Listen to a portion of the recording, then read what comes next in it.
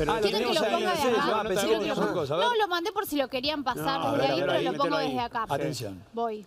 A ver si lo tengo en uno, A ¿no? ver, Porque viste ver, que uno se. Vos me conocés perfecto, trabajaste conmigo. Obviamente yo la separación la sabía.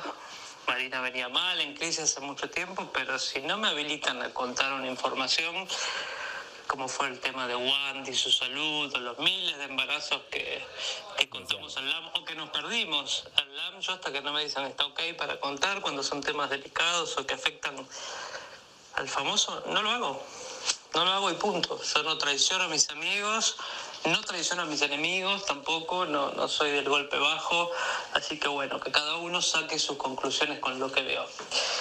La realidad es que Marina el viernes me lo confirmó y yo lo conté y punto. Después todo lo que digan los demás me, me frega.